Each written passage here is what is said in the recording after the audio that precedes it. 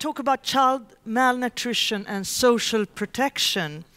And I want to introduce the next panel to you.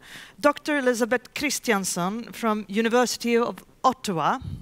Welcome up. Here comes Betsy. Uh, she is um, she works at the School of Psychology and is a measurement specialist within population and health. And we'll talk about child malnutrition. Also, welcome Mr. Armando Barrientos. Oh, welcome, um, professor and research director at the Brooks World Poverty Institute. Please be seated and we'll talk about social protection programs, what that is, uh, a mega trend in the world right now. And also welcome Iara Costa Leite, uh, Research Associate, Associate at the South-South Cooperation Research and Policy Center in Brazil, flied in from Brasilia last night, who will talk about South-South cooperation. Well, As we speak, yes. every minute, every hour, children die out of malnutrition. Yes. Actually, um, our stats show that 300 children die every hour because they don't receive enough food. Um, and also, if and even if children do not die, they can be permanently impaired. Undernutrition represents a huge loss of potential. Children don't grow as much as they can. They don't develop intellectually if they don't get enough food. They often don't attend school or don't finish school. And it's been shown that lifetime earnings are severely impacted by undernutrition in early childhood. So this is an extreme challenge. It's an extreme challenge. Um, the can I have the slides move? Yes, you can move it with Oh, I can move it. Here you go. Ah. Okay. Um, and it's been estimated that almost half a billion children, children around the world are at risk over the next 15 years. So it's a huge, huge issue. And uh, what does it look like? How is the situation today in the world? I mean well, uh, the situation has improved a little and, to, and talking about the whole burden of undernutrition, in 2009, more than a billion people were undernourished. Um, the Food and Agriculture Organization estimates now that it's down to a mere uh, 900 million. So we still That's have a, a huge problem, yes. a huge problem. We have not by any means uh, even approached the M Millennium Development Goals. You, you have looked a little bit about the preschool and school feeding programs. Um, how do they work and where and what domains? Okay, um, basically these programs for young children, they, they actually start prenatally, but the ones we've looked at started about age three months. Um, and there are also, we've also looked at programs where children are fed in school. And for young children, they became, can be given in the daycare, in preschools, in what they call feeding centers, which you're probably familiar with, or they can be delivered to the home. And for school age children, they're, uh, they're just given in school uh, and as a perk for attending school. Sometimes they draw children to school. And how does it work? Does it work well? Or? That's a good question. Yeah. It works sort of well it can work a lot better. For example, for the preschool feeding programs, we should see a large impact on growth. Children should grow more, they should gain more weight, gain more height. But in fact, we're only seeing in preschool feeding programs a gain of about a quarter of a centimeter a year. Um, that's not huge. It's something, but it, it's not as, as much as it could be. And in terms of intellectual performance, we are seeing that children who are fed um, walk earlier, they talk earlier, um, and they run and earlier. And also, there is some impact on later intellectual development, about six points in IQ in one study. There could be a lot more. And school feeding, um, it has been shown that children who are fed, especially at breakfast, there's very strong evidence for feeding early in the day at school. They they attend more, they're more motivated to learn, more interested in their surroundings, and they especially seem to improve in math. Oh, really? Yeah, it's quite interesting. There's very strong evidence for improvements in math performance, probably because of the attention. needed and uh, the frontal, um, the executive functioning. But you say they grow, but they, they don't grow enough? So well, basically, uh, we know from the good studies, the studies that give a lot of energy, that supervise well, that uh, really follow up and work with the families and the communities, that they can grow more. Um, you know, a centimeter a year rather than a quarter of a centimeter a year. So is more food needed, or are there other circumstances? Well, then? well, basically, what seems to happen um, is that several studies we've looked at actually um, assess dietary intake. So they talk to the parents, and the parents are remarkably honest um, about what happens to the food. Um, in preschool feeding programs, we found when the food is delivered to the home, children actually only benefit from about a third of the supplement. When it's given in daycares and preschools, children benefit from about 75% of the supplement. And so where does the rest go? Where does the rest go? That's a good question. Sometimes, um, and this is natural for a family, parents redistribute the food within the family. So instead of giving it just to the one child who's supposed to receive the feeding, they share it. And you would too, naturally, as a parent. You would share it with all of your children, and sometimes with the adults who are also hungry. When it's given at school, they may give the child less food at home. Um, and if it's a and children may also eat less of the supplement. If it's a high volume food, they may not be able to eat it all, or it may reduce their hunger later. Um, and also, we found what people euphemistically refer to as pipeline breaks. We all know about those pipeline breaks, probably. The food just doesn't even get to the targeted families or to the schools. Uh, somewhere along the line, someone else siphons it off or sells it or something like that. We have less evidence for that. It's harder to prove, but um, parents in one study in Brazil, one program in Brazil, a national program, said that they only received the milk and oil 50% of the time.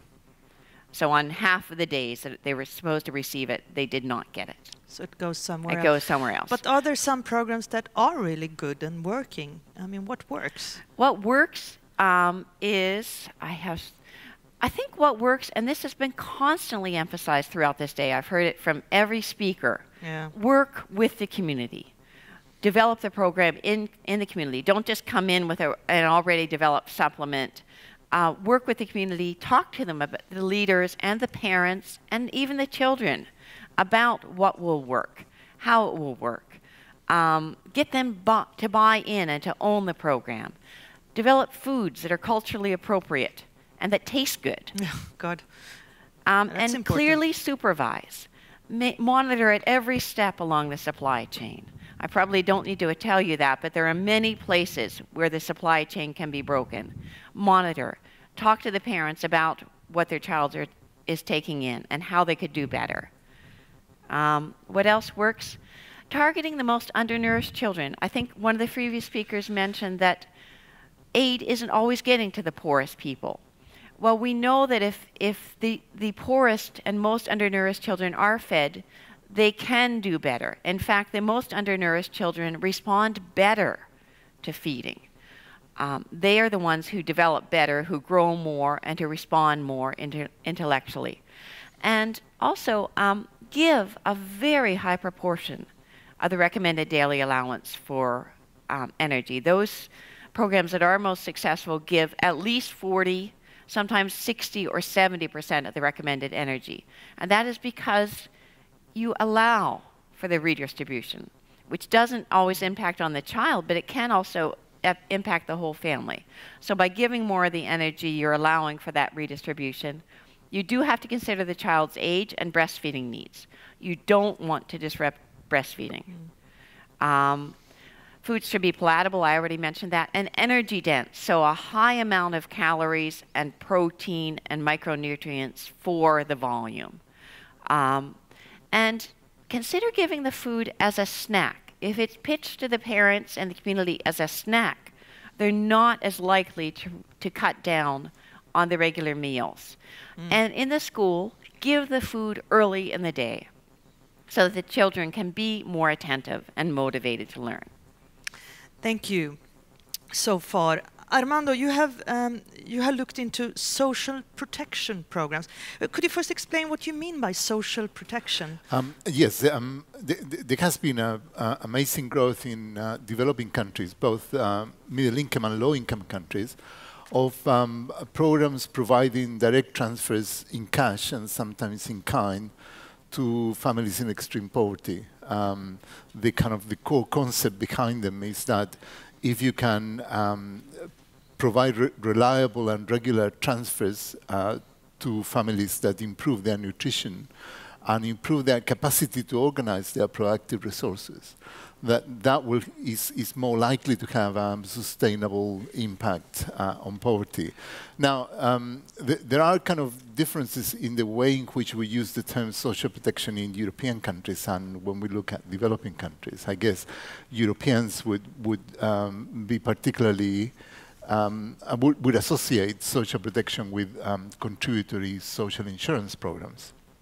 Um, in developing countries, uh, the, uh, the social protection programs that I um, in, uh, introduce uh, tend to be tax finance rather than finance from contributions from workers uh-huh. and have the direct objective of addressing poverty. So uh, in trying to make the translation to kind of a European context, uh, what we're talking ab ab about in developing countries is, uh, is an amazing growth of social assistance.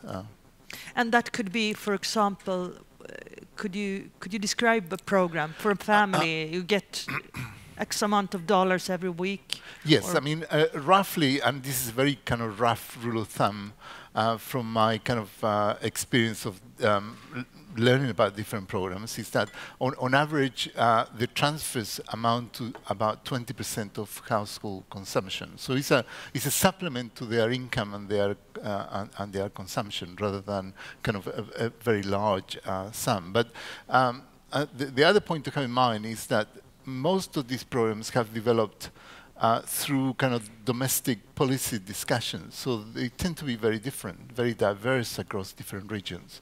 Uh, if you um, if you look at Latin American countries, for example, there has been a very rapid growth of what they refer to as uh, conditional cash transfer programs, where the transfers are given to families in extreme poverty.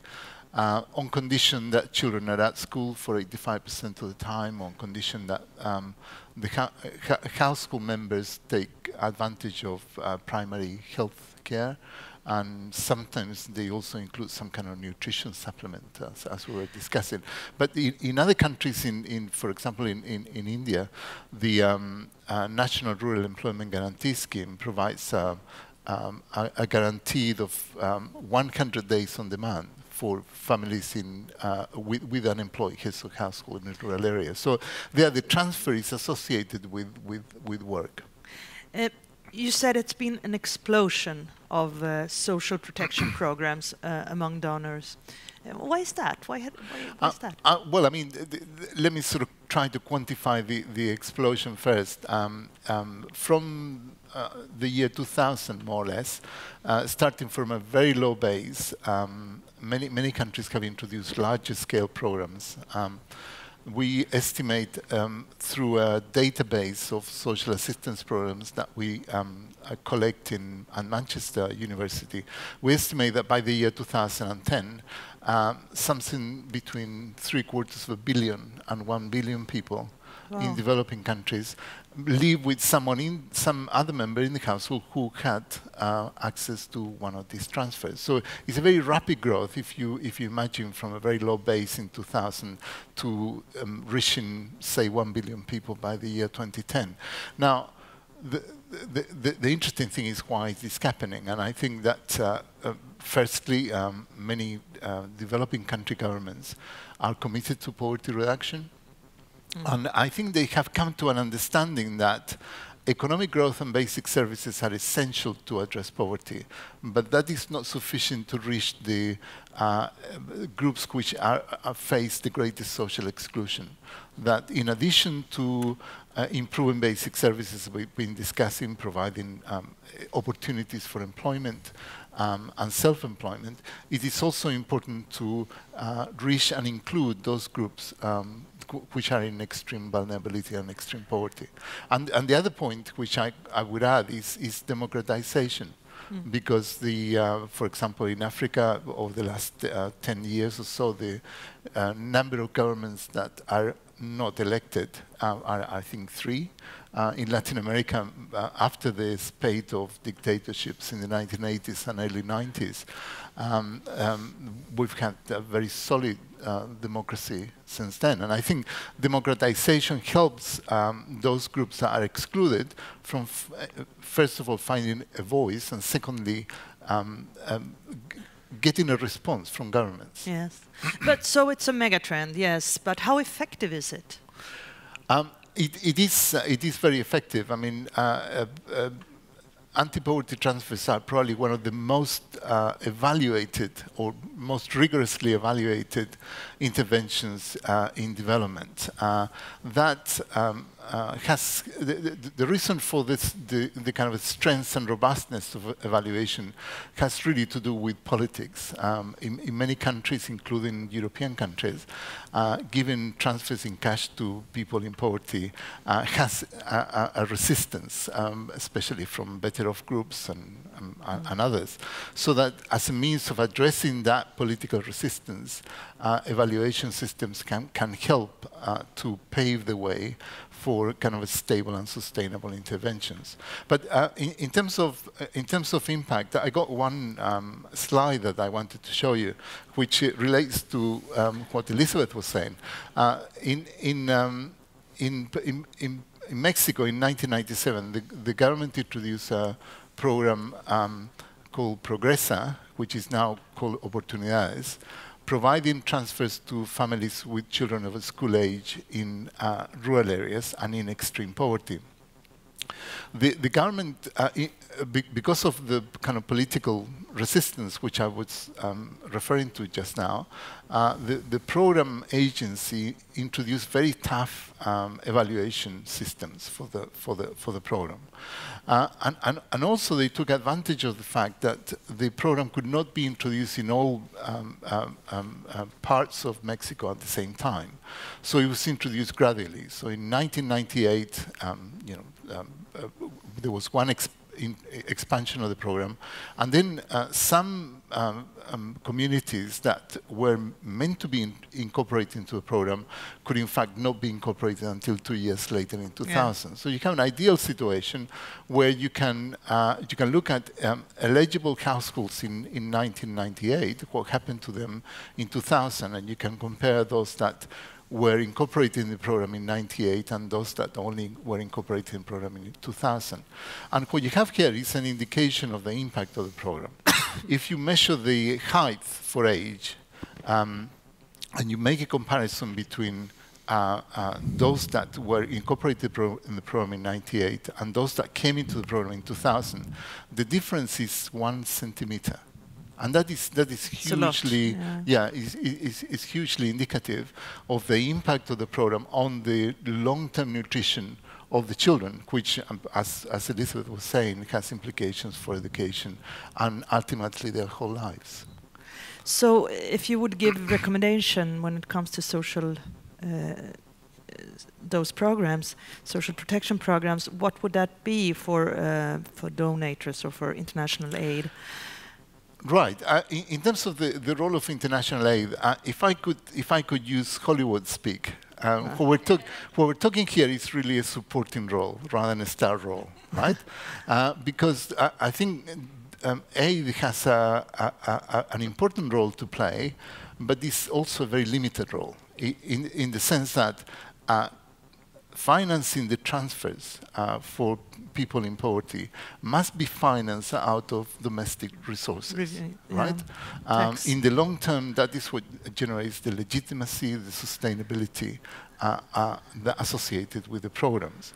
The, the, role of international aid, though, is important, first of all, in, in trying to uh, reduce the setup costs, particularly for low-income countries. Um, these programs require an investment in uh, capacities, um, kind of social workers, program agents. It requires uh, information systems. It requires registration, uh, both birth registration for children and registration for adults too. Uh, it requires means of transferring cash um, financial systems, and it, it requires um, uh, monitoring and evaluation. All those things are really expensive, and are a barrier, particularly for low-income countries. And the experience of most uh, countries with large-scale programs has been that A has facilitated that process initially. And then on top of that, you, you, have, you have two other important roles for A. One is to uh, finance research on, on, on, on these problems. Again, it's self-serving. I'm an academic, so I would, I would say that. But that is, that is really it's always important. said. It's really important. True. Uh, and then uh, I, I, think how, how to transfer the experiences um, from southern countries to other southern countries. And I think Iara will will speak on that issue uh, exactly. in a minute. I think that is really important uh, because there is a lot of learning that needs to take place across uh, development regions on how to make these programs effective and sustainable. Iara, South-South cooperation, um, what, is, what is that? Could you give an example of that? When we talk about South-South cooperation, we're talking about um, a multi-faceted uh, phenomena. It, we're talking about several modalities, uh, including it. I think the one that uh, it's most of the interest today here is South-South development cooperation, but I think we, we have to, to see how diverse these uh, these events are in international relations. And I brought some examples. We usually refer to it as any type of uh, cooperative relation engaging a socially organized group that is based in the South, that is in developing countries. So a socially organized group may be a, a state uh, or, or a firm or uh, an NGO, right? And uh, uh, we're talking about uh, there you have some examples, coalitions among develop, developing countries, right? Like the IBSA initiative or the BRICS, it said like uh, develop uh, South-South coalition. Uh, South-South trade and investments, uh, cooperation in science and technology, South-South policy exchanges, regional and inter-regional integration, and South-South development cooperation. All of those um, modalities are usually treated as South-South cooperation. But I think what, what is important to mention is that differently from North-North cooperation or North-South cooperation, South-South cooperation does not necessarily result from an interdependence am among these countries. Actually, it, it, it is an instrument to foster interdependency among them. So this is important because we're uh, we're talking about links in multiple areas that are, are, these countries want to build with each other because they believe that uh, their relationships will be more equal and will bring more benefits to both parties. But we're talking about an expectation that has to be proved empirically in a case-by-case -case, uh, uh, approach. So, so Brazil, for example, your country, um, has this kind of South-South cooperations. What could that be? Give an example. Yeah, example of Brazil. I, I've just brought some some examples here. This is just uh, to, for you to, to see that South-South uh, development cooperation is the interface among South-South cooperation and international development cooperation. And I think the IBSA case brings all those modalities, or most of them, right? The IBSA was, is a dialogue uh, for, uh, forum engaging Brazil, uh, South Africa, and India that was created in 2003. And it has this aspect of the most important one uh, relates to political coordination. These countries meet every uh, in multilateral meetings before the meetings, so they, uh, they have a consensus on how they will vote in, uh, in an issue in the multilateral set setting. This is the most successful part of it. We have a market integration, uh, but it's not going very well actually. There is an attempt to foster policy, ex policy exchange in several areas and including in education, social development and health but it's working, it's very slow because we're talking about bureaucracies that are self-referenced and they, they, they are not able to exchange things with, with each other except in some cases, and the exceptions are in science and, tech, in technology and ah. in, um, I mean, it's very difficult to foster this process because of the type of uh, these bureaucracies. Um, we have, uh, put there a multi-stakeholder engagement. We have forums engaging business, women, parliamentary, uh, editors, and others.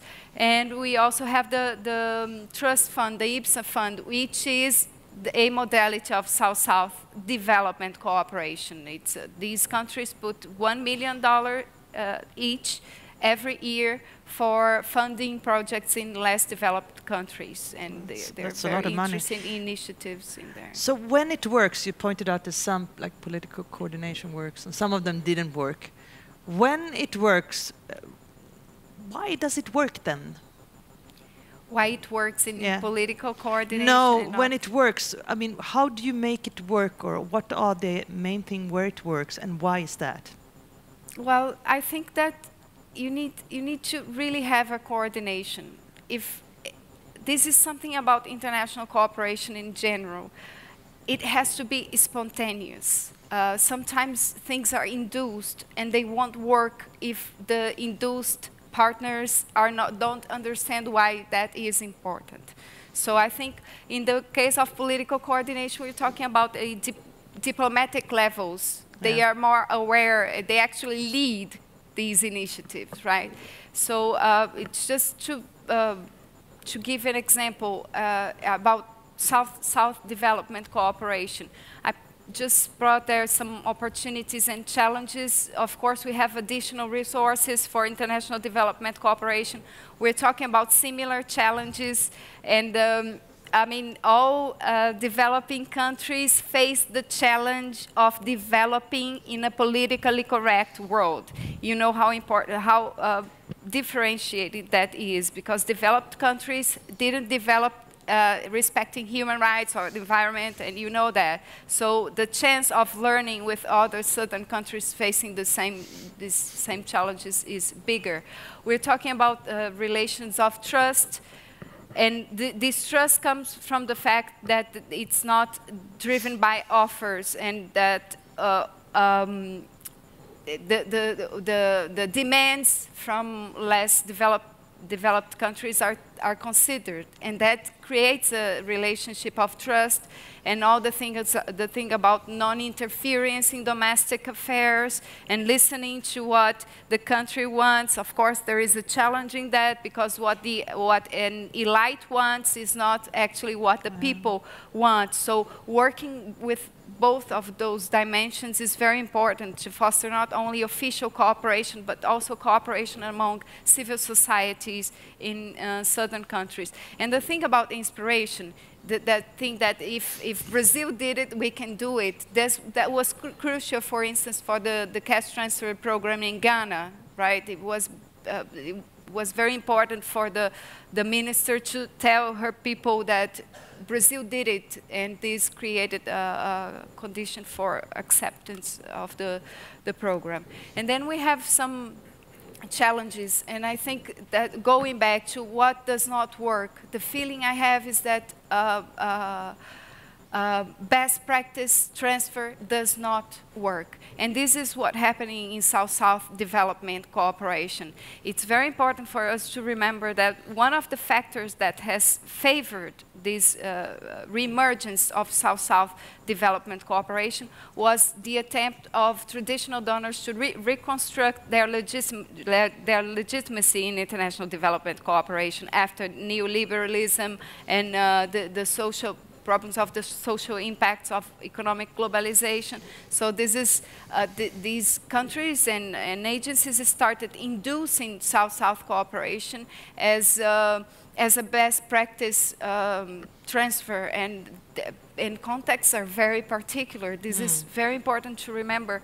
Uh, cash transfers in Brazil uh, worked one of the reasons for, for it have working was that uh, the government, Brazilian government, has a very powerful tax structure. So uh, you can't just, you can't disconnect results from the, the, the legal and the political and the social context and economic context of this, these countries. So I think this is, uh, this is one of the biggest challenges. And I don't know if I have time tell me. I can. Uh, you have yeah a little time. Okay, and I put uh, the thing about coordination. I have some data here from the Brookings Institute that it's just it's scary uh, to know that, uh, for instance. Um, in 2007, recipient countries uh, spent uh, two, 200 363 days a year receiving international delegations. I mean, we're talking about restricted, wow. restricted human resources in poor countries uh, that are that are being allocated to receive international missions. And this, this data is in general, and it was in 2007. You can imagine after, after that, several cooperation agencies have been created, including in southern countries. And I think the greatest challenge is for this coordination to happen, and remembering that southern countries, emerging donors, are no different from traditional ones in the sense that South-South cooperation is used as an instrument for uh, in foreign policy, in, in related to diplomatic purposes and economic purposes as well. And in these countries, we don't have constituencies supporting aid as you have in here, in Sweden, clearly. So uh, interests are fundamental to create these constituencies at home. But the thing is, how do you guarantee a, a, constituency and at the same time the effectiveness in field? And for that, coordination would be very important, but they don't want their names to be dissolved in the middle of a multi-stakeholder initiative. They really want to use it as an instrument to further it's a dilemma, right? It's a dilemma, yeah. yes. I think we will let now a little bit earlier uh, questions and remarks from the audience. If we have the uh, microphones, we have one here because I, and we have you there, lady. And then, um, what about the students over there? Huh? Some questions, remarks, more than those two? Um, three. Okay, please. I'm just going to give three examples of South-South cooperation because uh, um, in the mid 2010s, 2000, um, Rwanda was a recipient of um, support from Cuba. We, we did lack really a, a, specialist for the main hospital, King, King Faisal Hospital. And South Africa paid actually the salaries of these people to come for a, a given number of years. And that was, I thought it was a very important South-South cooperation. Uh, the countries in, in SADC, other countries, most, the student would study at uh, like uh, local fees when they, they are admitted in South African universities, which is very, very important. And the third example is uh, with my academy. So most of the issues that you outlined here, being uh, health, mostly in the health issues like uh, nutrition, are science issues. So science is very, very important at the global level. So there are many countries that are lagging behind in science and technology. So the Academy of Science for the Developing World has worked with uh, China, India, Brazil, Malaysia, Mexico, and uh, Argentina. So these countries have accepted to do a South-South cooperation in science and technology. So th they pay the full tuition, the full tuition, and twice the academy pays a ticket to go from the country of origin to China, to Brazil, to Malaysia uh, to study and back home. And that's something. Thank you. Um, where were they? There. Yeah. Do you have a microphone? Yeah. Uh, my name is Gunnel Axelsson, account Church of Sweden International Department, uh, and we're very happy to hear the presentation, especially by, by Armando Barrientos, because we think social protection is really a, a very important area of development cooperation that has been uh, I would say, very much neglected. And I think it's the, the potential in terms of, of uh, poverty reduction and nutrition and school enrollment and everything uh, is quite, um, quite big. Uh, now, Armand, you said that the role of uh, development corporations in, is important but limited. going back to the picture that Miguel showed this morning about the different sectors within allocation of, of social uh, expenditure within the social sectors, it was said here that water and sanitation was the poor cousin. I mean, social protection wasn't even in the picture. Uh, I wonder if, if the, uh, and this is perhaps a question to Miguel, whether social protection was in the, in the picture but so small we couldn't see it. Uh, and if so, or anyhow, why is it that the, uh, this potential law is now not, not fulfilled today? But it has exploded, hasn't it? Right. But that is uh, domestic finance. I mean, yeah. it was emphasized that mostly it's uh, domestically financed. Okay, and then we had there. And then comments from you. Hi, um, my name is Sophie, and I'm from the Institute for Security and Development Policy. My question is about South-South cooperation. Um, with a little bit of experience from the Pacific Islands, um, when talking about post-2015 agendas, the main thing that they had learned and were passionate about from the MDGs was the lessons of mistakes learnt in the Caribbean and Asia, Asian countries. And they asked um, with a particular emphasis to learn about previous mistakes from other countries, more so than best practices. How much uh, in South-South cooperation is there an emphasis on being very honest about mistakes made and how to avoid them than on best practices going forward? Thank you. So who wants to start commenting? Armando? Okay. Um, on, on, the, on the question about why is that sort of the um, share of aid that is going to social protection is so small, um, um, I, have, I have kind of three, three main points. The, the first one is that uh, the structure of, of aid is really not suitable for institution building. Uh, because it's too short, because it's usually project-based, uh, and because usually there isn't that uh, level of discussion and dialogue between the donors and the recipients. Um, so um, uh, the, the, the, term structure that, uh, is, is, perhaps the most significant one. Um, you don't build institutions in two or three years. And, and really, so the expansion of social protection in developing countries uh, is not just a, an intervention as a development intervention. It's very different to say um, addressing malaria or addressing kind of water uh, water issues. What, what, you need is to build uh, perhaps long-term institutions that could um, address poverty now and prevent poverty in the future. Uh, and I think there is a kind of mismatch there between um, the way that is set up and the way in which um, uh, uh, the, the, requirements for uh, supporting the expansion of social protection.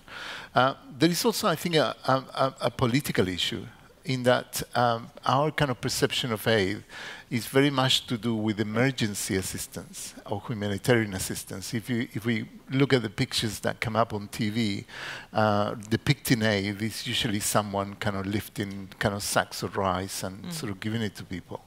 And of course, the, the, the uh, humanitarian and emergency assistance are very important, but um, having longer term institutions addressing poverty might actually be better in a sense. And that has been the experience of donors in sub Saharan Africa, in, where they have really supported social protection as a means of moving away from annual rounds of emergency assistance to more stable uh, ways of addressing uh, problems of food insecurity and nutrition.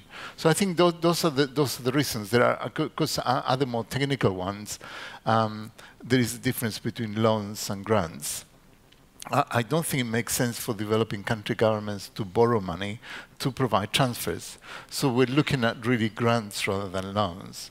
And there is the issue of absorption capacity, especially low-income countries have a limited capacity to absorb additional funds. Um, there are kind of prudential issues associated with it too, and, and those come, in, come into play uh, as well.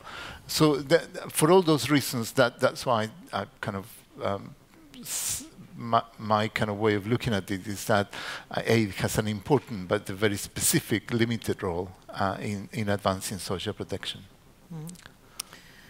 Do you have anything to add on that? No, please. Uh, thanks thanks for, for the question.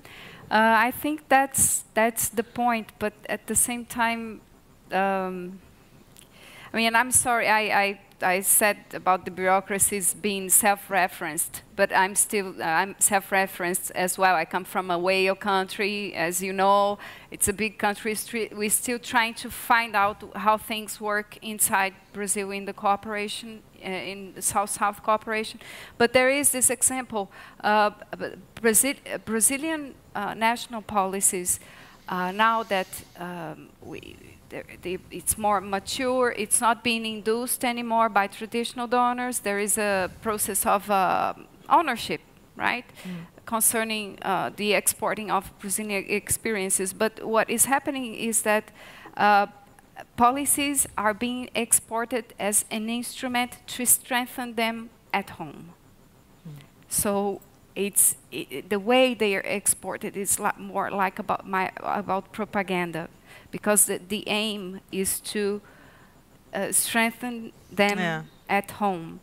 Um, so in this process, there there is a, a exactly that's what you said. Uh, learning about bad experience, not so good experiences, might be a lot more important. I mean, we have uh, this program that is being exported today to Africa, the food purchase program.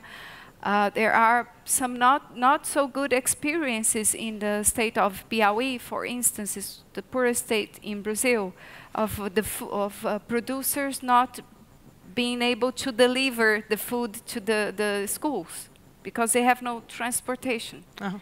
I mean, why? What happened?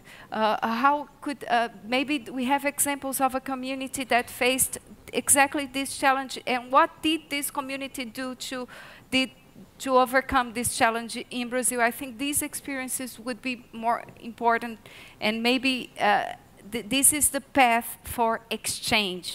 And th this is yeah. exactly why what we are not having in South-South cooperation. I mean, one mutual learning, maybe uh, putting someone from the state of Piauí to talk to people in Africa and, and, and exchange would be more uh, effective, right? But uh, I, I always like to insist that we're not talking about a technical issue. This is a political issue after all. So how do we deal with the, the political aspects of it? And I wanted to change uh, subject a little bit, having you from uh, Brazil here.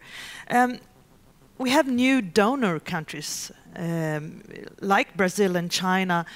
How would uh, the three of you say that uh, this changed the situation among donors? Is there a difference now? Want to pick up on that? Armando? Uh, yes, I do. I think it makes a great deal of difference, uh, certainly in terms of the policies of the G20 the involvement of countries like India, South Africa, and Brazil in discussions on social policy made a great deal of difference in terms of the orientation, for example, of the kind of global stimulus package in the context of the crisis. So I think that, that has made uh, a difference. The, the, the, other kind of um, um, area where it has made a difference is that um, not everything has to go up to Washington or kind of European capitals and then down again. And in the process, you perhaps lose some of the kind of uh, uh, some of the good things about kind of policy diffusion. I think that is really important. Um, Iara was sort of mentioning the case of uh, cooperation between Brazil and, and, and sub-Saharan African countries on, on uh, social transfers, for instance. And, and she mentioned that um, South-South cooperation is best when you have a mutual learning process. The, the way that that program works is really interesting. Uh, Brazil is a huge country, 160 million people, vast uh, territory. Um, now, Brazilians can always find a municipality in Brazil that has conditions similar to those uh, countries in sub-Saharan Africa that want to introduce a, a, social transfer program. So in the case of Ghana, they could find municipalities with similar conditions. So policymakers from Ghana that visited Brazil said, well, you know, yes, of course we can do it because uh, the conditions in terms of infrastructure and so on are, are, are similar. So that, that particular program, um, the Brazil-Africa program, has been extremely influential, not just on uh, Portuguese-speaking countries in sub-Saharan Africa, but across kind of West, Central, and Eastern Africa, in persuading those countries that it is, it is feasible to introduce that. So I think that, that, that is important. I, think also there is a, um, a greater emphasis uh, as a consequence of the participation of um, of the um, uh, South Africa, Brazil, and India on, on a focus on social policy perceived more broadly than just very specific interventions on, say, health, education, and social protection. Um, much more of a systems approach, which some of the uh, this, um, um, some of the presenters earlier kind of referred to it as, as, as, as a good thing. So, but has this changed in any way the way that traditional donor countries act? Or is it just that we have new players and they play another game? Or have they changed the, the play as a whole? Uh, I, I, think my, in my experience is, yeah. is, is, really intrigue them in the sense of, you know, what are they going to do that yeah. is different? Um, uh, for example, I'm, um, I'm about to start a program uh, in May looking at, the Brazil's development model and its implication for Africa. This was funded by DFID because they, they, they, really don't know very much about how the Brazil development model works. And they want to see how it would operate in the context of sub-Saharan African countries. So I think there is, there is a kind of, uh, they are intrigued as to what these countries can do that they have been successful in doing in the past. Mm. Any comments, questions? Um, all right. So we have, wh who was there? Uh, you, okay, one, two, three. Yeah. Uh, maybe, okay. Uh, maybe Abby first, yeah. Yes. Can I start? Yeah. Yes, sure. Uh, two comments. First, on, on the statement that, on the role of aid and saying that, that domestic financing uh, uh, has to be more important than aid. I think whenever you do that statement, you need to qualify it according to which country you're talking about. Uh, in countries where they basically can afford the intervention we are discussing, discussing, of course, domestic financing has to play a major role. But in countries where they cannot afford uh, the intervention we are discussing, aid has, of course, quite another uh, role to play. And we're talking here about countries from a GDP of 10,000 US dollars down to 500 US dollars or 5,000 US dollars and then down to 500 US dollars per capita. And the capacity of a country with 500 compared to a country with 10,000 is of course completely different. So that's one point. And then also just to say on the uh, on the South to South cooperation, I think we need to distinguish between cooperation and aid. And I just want to re-emphasize what you said, that I think if we're talking aid, uh, I think we should have no illusions that countries, just because they are geographically placed somewhere, or if they have a GDP that is slightly different, will have different uh, ideas about using aid as a foreign policy instrument and serving their own interests.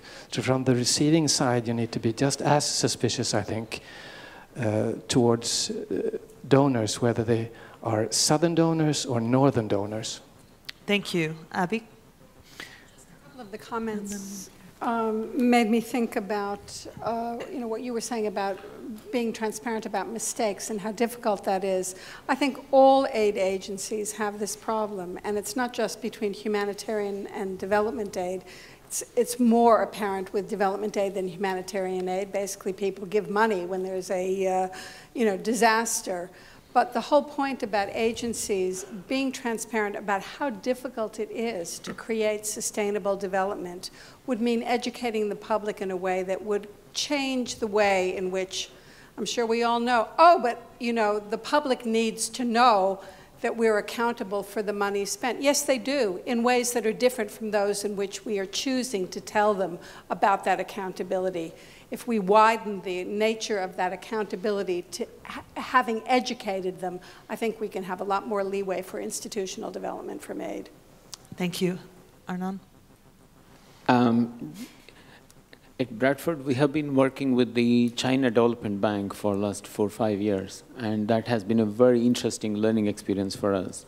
And we are trying to learn more. It's not uh, very easy. Um, for donors, I think we have a lot more information published in a traditional way, so we can do kind of analysis, etc. But with the new these kind of uh, development contributors or development donors, um, especially with China, we find that there is a lot of intervention which we don't really know about. And in a paper that um, Tony Addison and I have done um, last year, uh, looking just at infrastructure, who is putting how much in terms of infrastructure investment in Africa, we did find that you know China's contribution is is very large. Now, to even to get that kind of a figure, it was really very difficult. It, looking at annual reports and things like that.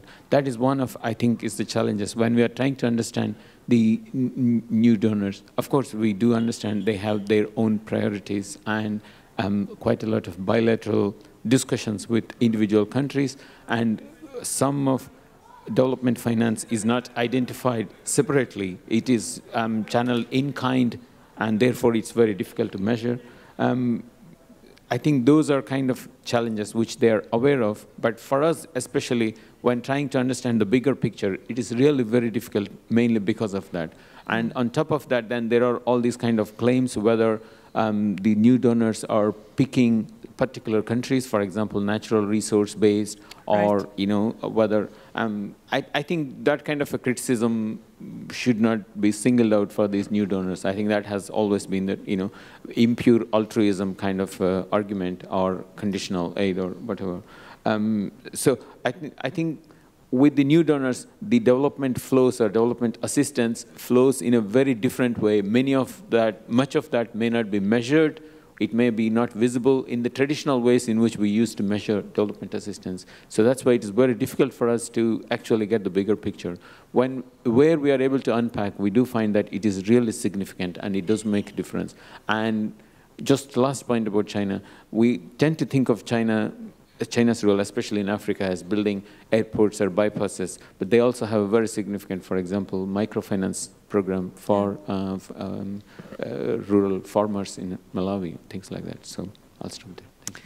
Thank you. Um, before we break for lunch, um, if you would give donors in the room or on the web in the world, each one one really good advice your best advice, what would that be? Um, I think we've said we've all said it here. Work with the countries. Work with the people who will actually be receiving the aid, the communities, and the people themselves, the parents, the children. Understand what they need, um, what will work, what they will eat, what will work for them. Ask more. Yeah. Ask more. Armando my kind of uh, advice was already said by Iara, who uh, stole my main point. she, she, said something that was uh, that is really important, and, and it's this that um, we don't usually associate the social sector's expenditure with with the resources needed in developing countries to support them. That is, we got to associate social sector expenditure with taxation with, with revenue collection. And my, my, advice, which you already mentioned, is that perhaps what we should do in developing countries is first of all try to see what can be done to strengthen domestic revenue uh, collection. Well, my advice will go, it's about South-South cooperation. It's not, I think traditional donors should not presume that South-South cooperation is better and will solve all the problems. I think it has a great potential for effectiveness in, I think, from the perception dimension. The thing about inspiration is fundamental for learning processes to, to go smoother. It's fundamental, but it, uh, we can't presume that it's all fine. We, that, I mean, let's just stimulate it to happen. We really need to have uh, eva evaluation in field uh, for, for this potential to be uh, expanded. Thank you. We have the donors in the room and after lunch that will be served just outside here. After lunch, we will meet them here and hear what they picked up during this day and at all. And welcome back then. We see you here in one hour, two o'clock, and have a nice lunch. Thank you, and an applause.